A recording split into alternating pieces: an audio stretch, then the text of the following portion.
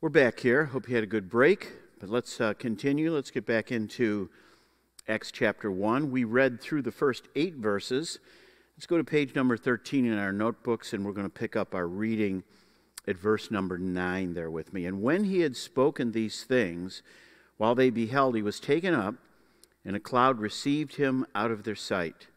And while they looked steadfastly toward heaven as he went up, behold, two men stood by them in white apparel which also said, Ye men of Galilee, why stand ye gazing up into heaven?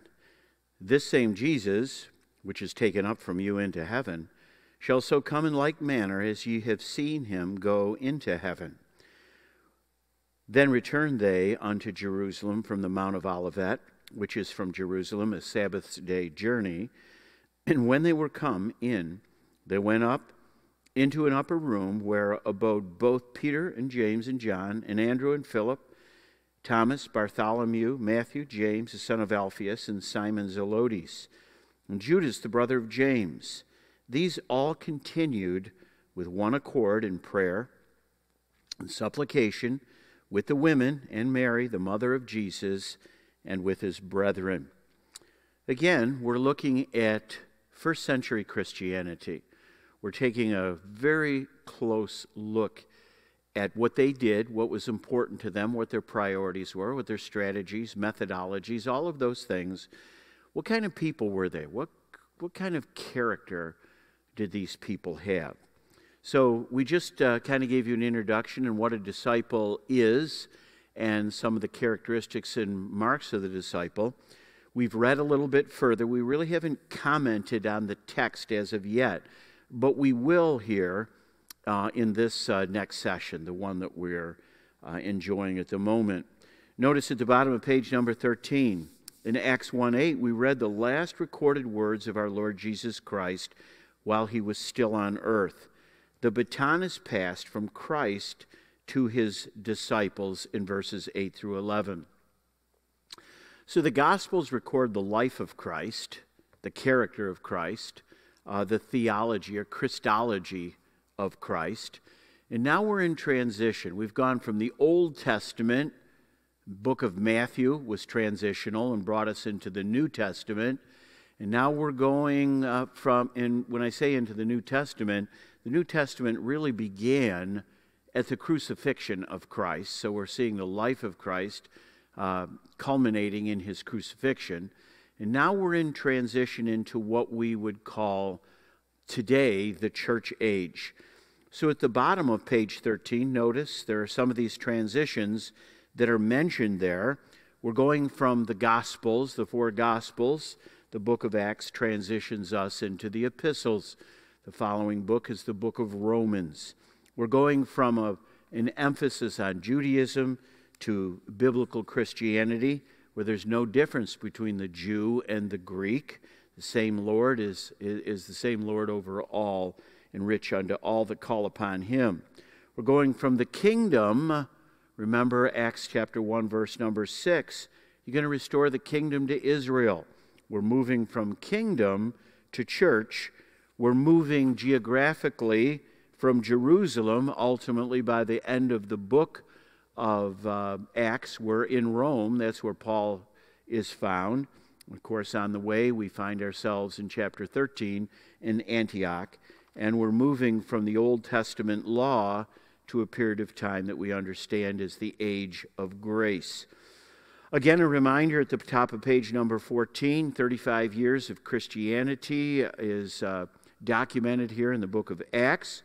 The general outline of the book takes us, the first eight chapters, or the majority of those eight chapters, to Jerusalem, from Jerusalem to Judea and Samaria, and then to the uttermost part of the earth.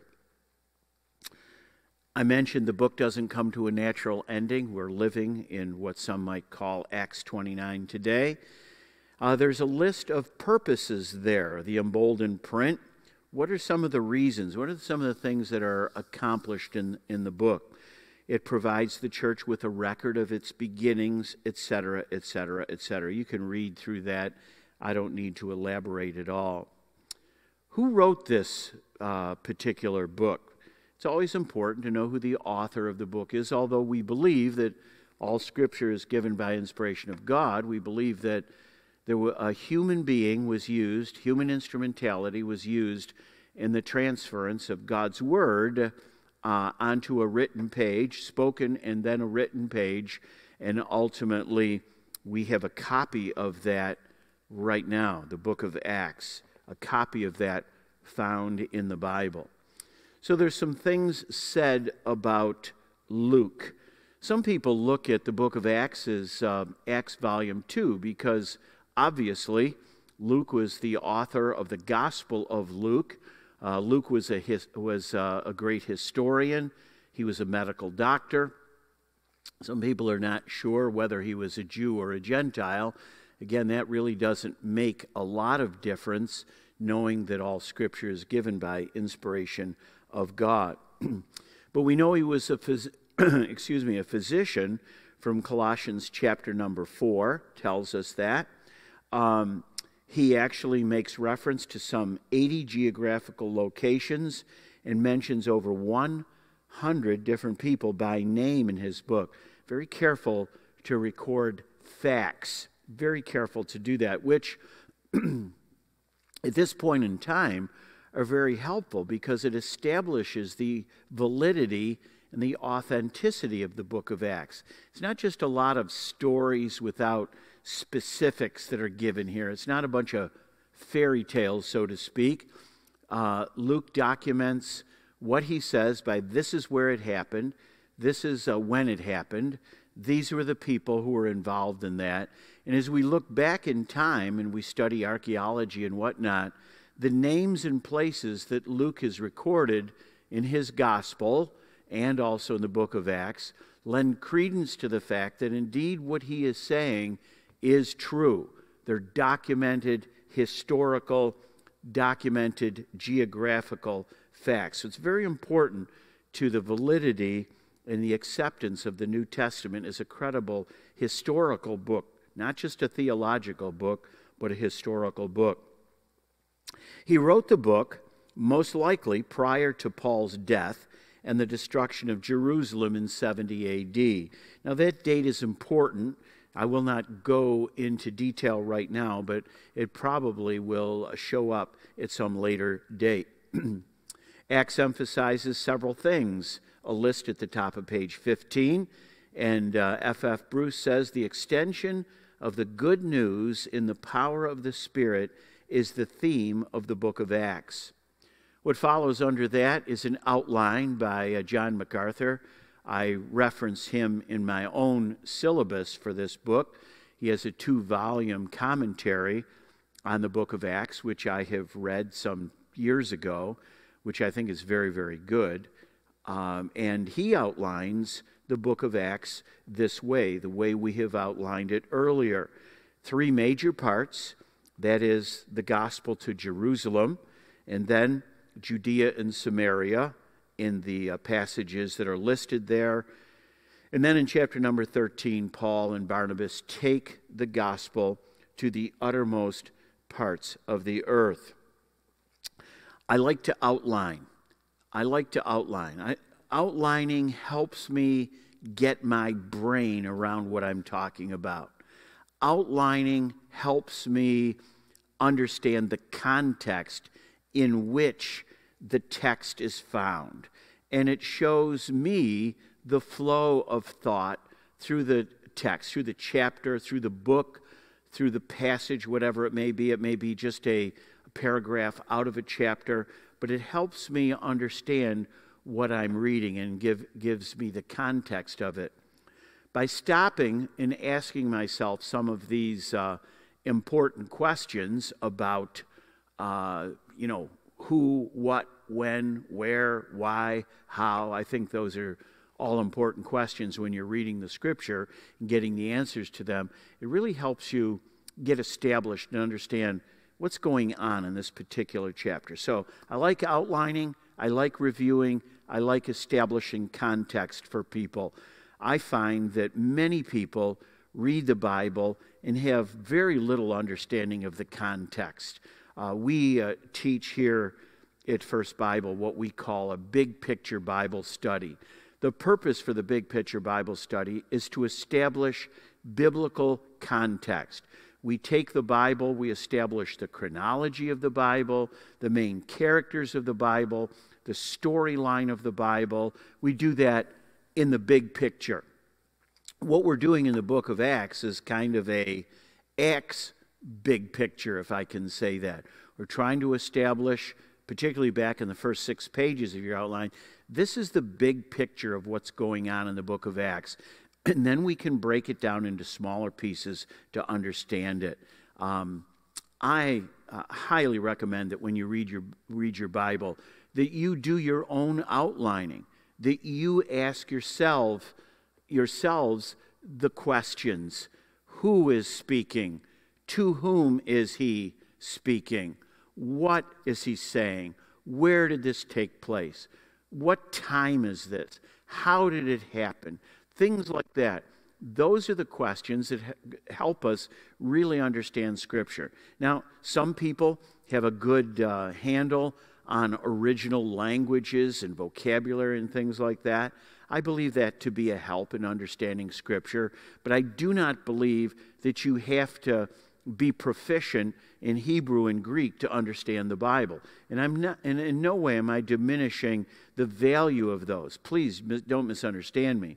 But I'm just saying this the, the scriptures were not written uh, so that you had to understand Hebrew and Greek to get the material or get the content uh, out of Scripture. There are, someone said, about 11,000 languages and dialects in the world today. If you had to understand Greek and Hebrew, and only those two languages to really understand the Bible, there'd be a lot of people that would be left out.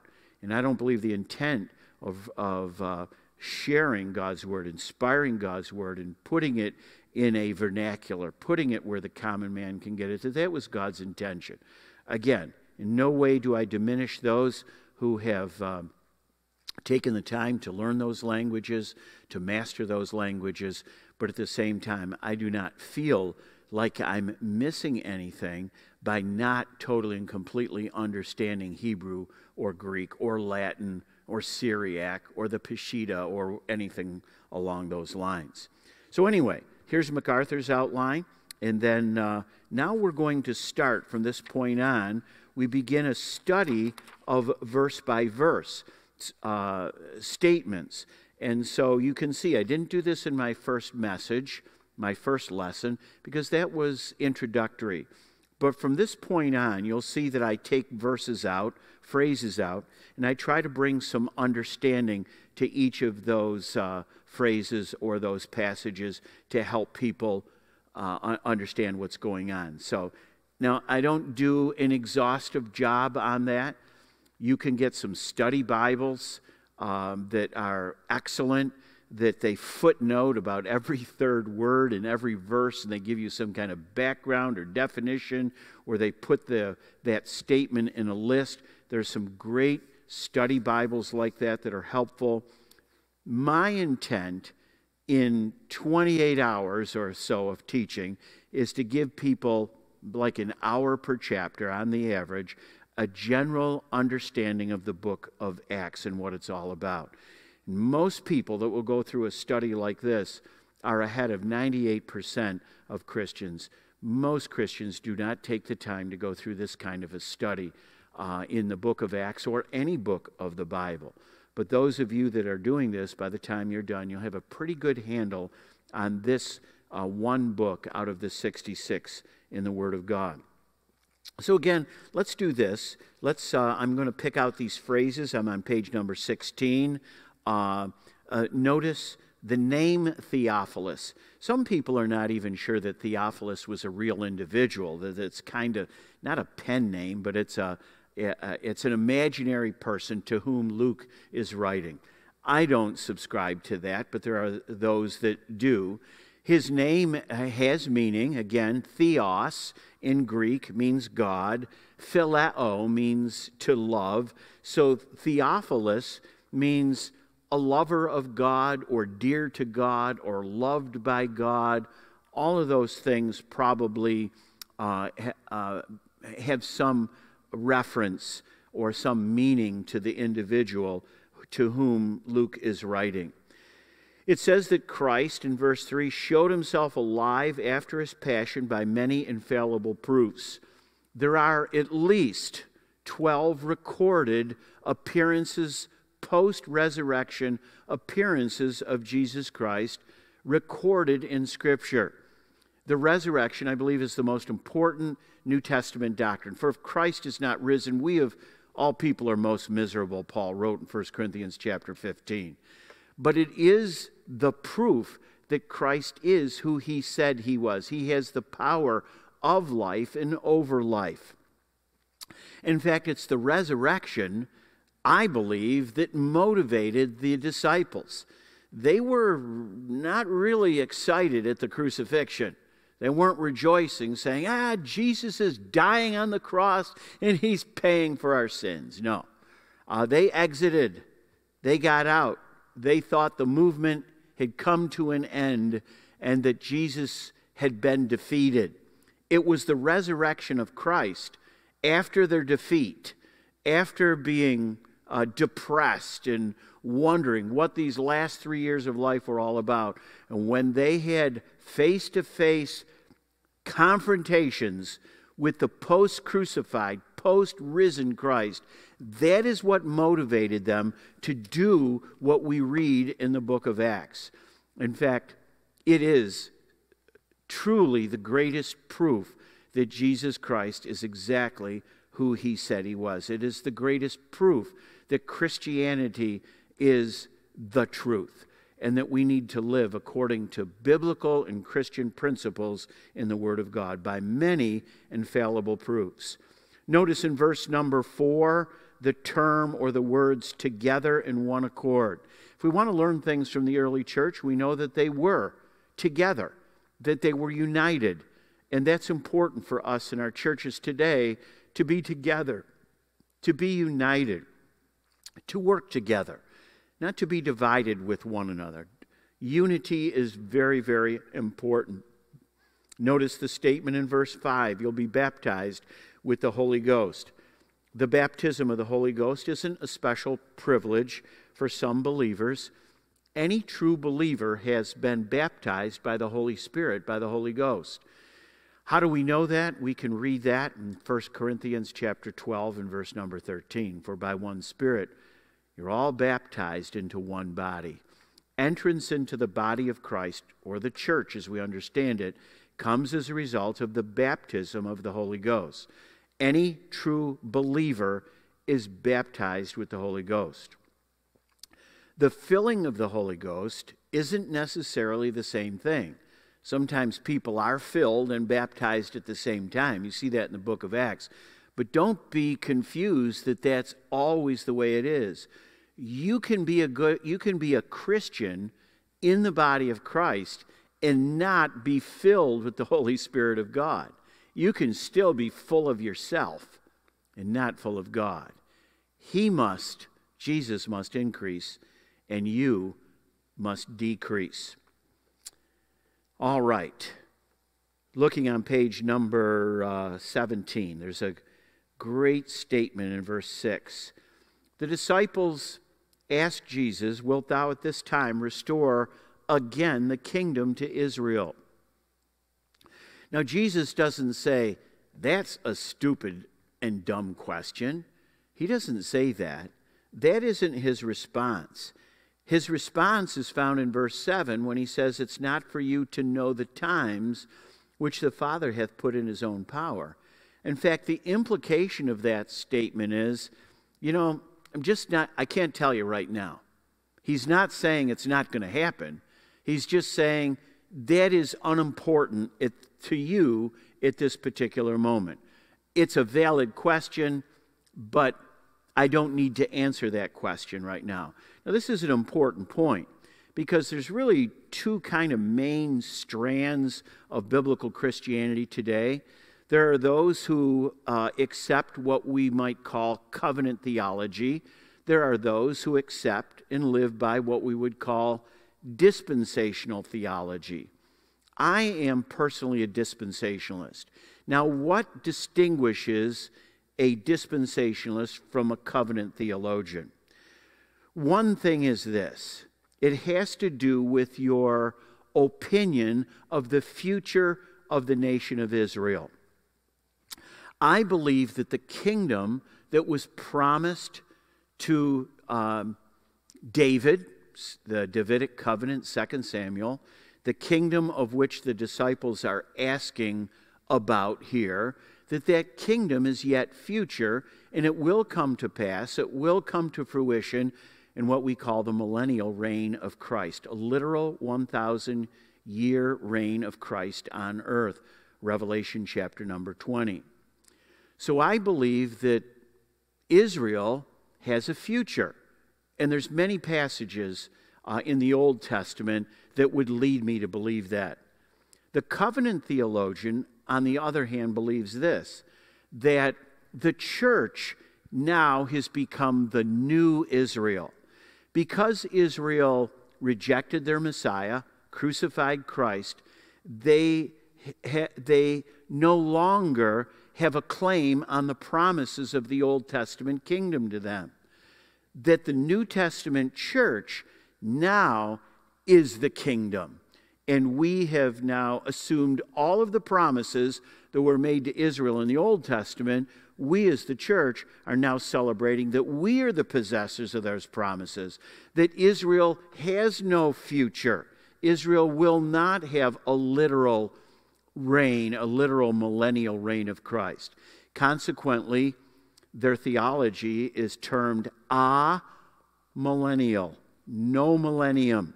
So the difference between dispensationalists, gen- these are general differences, and a covenant theologian is the covenant theologian believes that Israel is done, and they do not believe in a millennial reign of Christ, or literal thousand years, whereas a dispensationalist believes there's a future for Israel, that God will fulfill his promises, that he will restore his kingdom to Israel, and there will be a literal 1,000 year reign of Jesus Christ, as it has been prophesied in Revelation chapter number 20.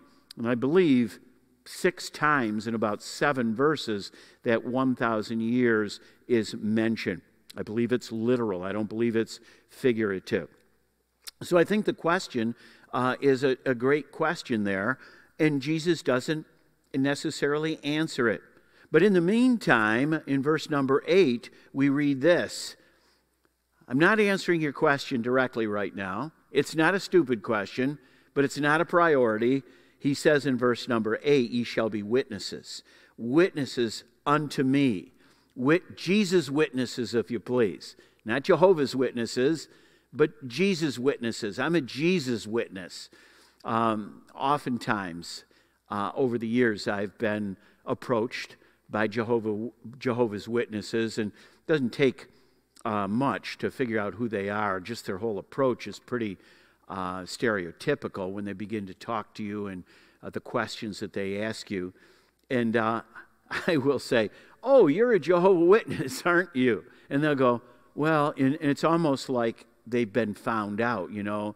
They don't say, Yes, I'm glad you know that. They don't respond that way. They respond somewhat sheepishly, like they've been discovered or they've been found out.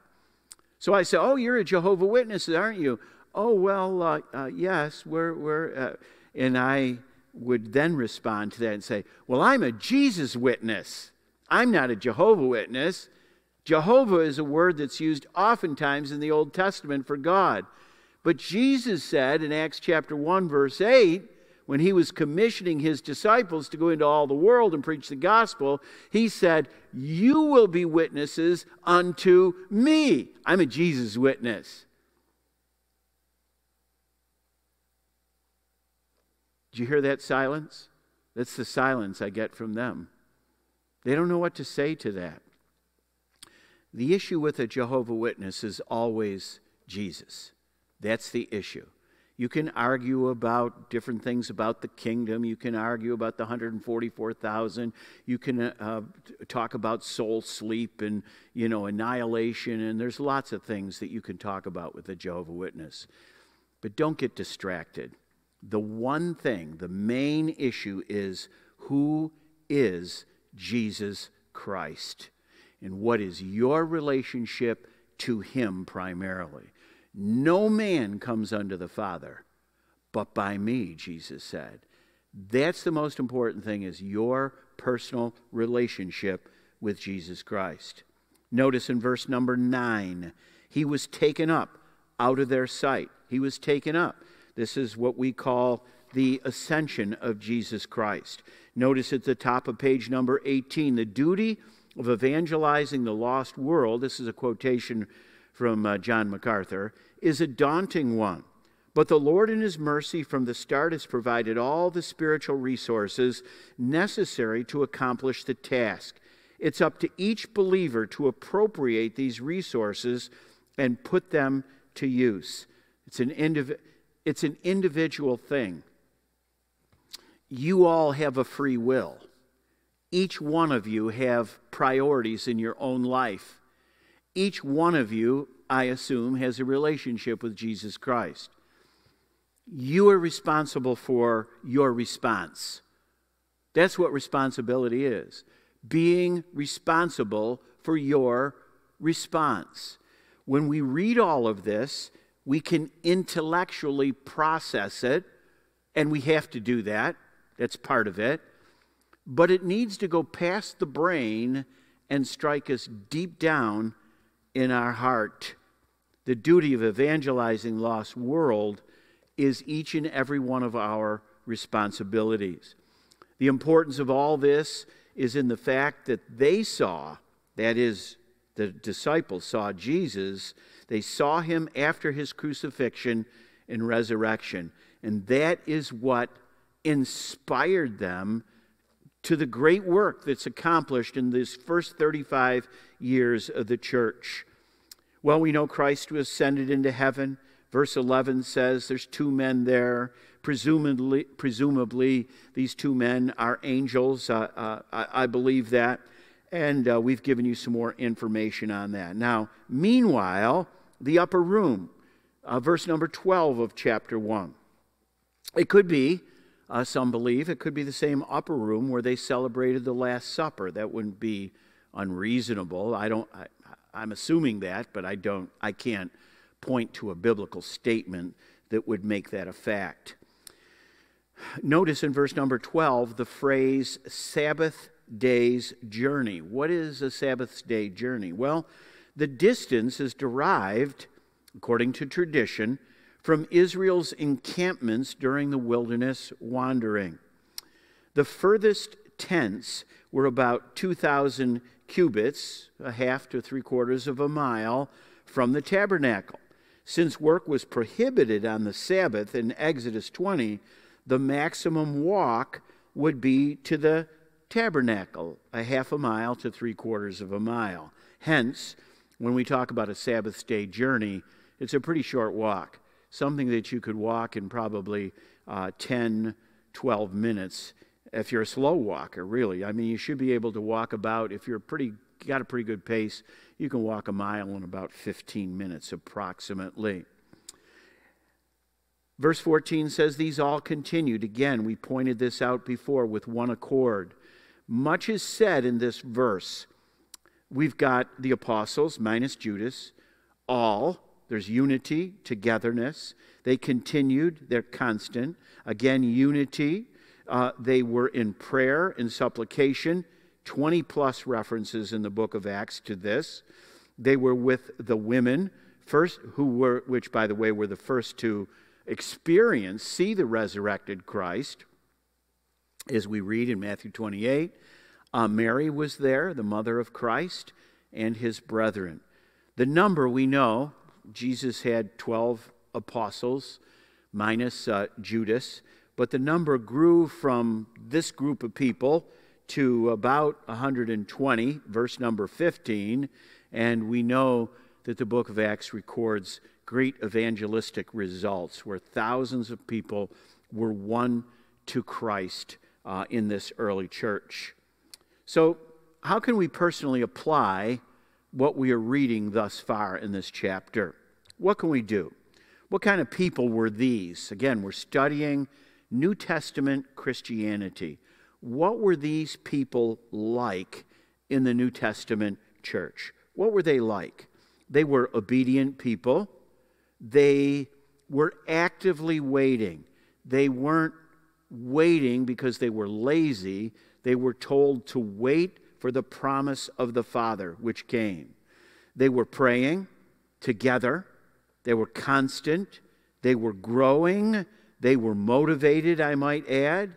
And uh, they were very diverse, a diverse group of people, particularly seen when we get into Acts chapter 6 and 7. We see a list of uh, these deacons in this church. We see quite a variety of individuals there. So it was, uh, although it's to the Jew first, the gospel, and also to the Greek, there were many others, proselytes, if you please, Gentiles, who were being influenced and brought into the fold in the early church. It was a close knit community of like minded believers infected by authentic spirituality, which is contagious. Excited people, motivated people, spiritual people attract excited people, motivate people, and, and uh, uh, sometimes experienced people along these lines. People attract people. People can have a, a very powerful impact on others. When you are positive in your role in your church as a church member, you positively impact other people. When you walk in church on Sunday morning, need I say, need I say, if you come in with a poochy lip, feeling sorry for yourself, looking like you feel sorry that you came to church, you will have a negative impact on other people. It behooves us to be the best we possibly can. I know sometimes sometimes we have to play act if I can use that term. We have to even when we're sad, we have to put on put on a good face. Uh, I'm not saying it's wrong to be sad, but what I'm saying is this don't drag other people down with you. Be positive, be encouraging, be the type of person that other people really like to be around, and you pick them up to your level rather than dragging people down to your level. These were the witnesses. And the baton is passed here in chapter number one from the Lord Jesus Christ, passed on to these uh, disciples. So, what are we talking about again, just by way of review? And we'll take a break here in just a moment. We're talking about people who were intentionally involved in spreading the gospel of Christ. They were involved because they personally knew the Savior, they had a relationship with Him, and they had witnessed a resurrected Christ. They were not discouraged. They were not despondent. They weren't ready to throw in the towel. Now they weren't. They were just a short time ago, probably. Things weren't looking real good for them at the crucifixion. However, three days later, things changed radically. Everything changed radically when Christ came out of the grave. And for you and for me, that's who we serve today. We serve a risen Christ. We serve a Christ who came out of that grave. We serve a risen Christ who lives forevermore. And he said to his disciples, and he says, in effect, to you and I, and ye shall be witnesses unto me. To be the kind of disciples that Christ, that Christ had in mind and directed his disciples to be and wants us to be, we need to study closely these first few chapters, these early days of the church, and see what kind of character these people had and what their priorities were really all about. So we're going to take a break now, right now. Uh, questions and answers. Uh, take a get something to drink, whatever. Maybe a brief discussion here, and we'll be back in just a few moments.